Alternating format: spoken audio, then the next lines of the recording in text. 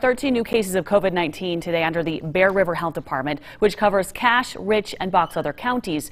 That brings their total to 1,724.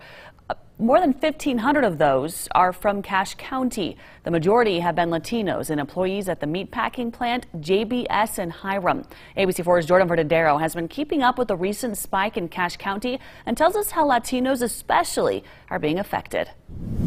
One Latino community member is working out of her home in Smithfield to provide resources for those Latinos affected by the recent COVID-19 outbreak at the meatpacking plant JBS in Hyrum. Lizette Villegas is a Latino leader in Cache County. She's helped over 400 families in the area who have been affected by the recent COVID-19 spike. Villegas led the peaceful protest for employees at JBS after the outbreak that infected more than 300 employees. She says those who have recovered went back to work as soon as they could to support their families. They have to go back because their pay per day was $50 a day so they got a paycheck for a week for $350. She's working with local nonprofits to educate Latinos about COVID-19 and bring food and supplies directly to homes in need. Villegas says the reason Latinos have been hit the hardest is because they do not have the luxury of working from home. We don't have the opportunity to be able to build a house through Zoom, kill a cow through Zoom, uh, or pick raspberries and tomatoes and potatoes through Zoom. We have to go out and work. Another issue, she says, is the cohabitation that goes on within the community. We have grandma, grandpa, uncle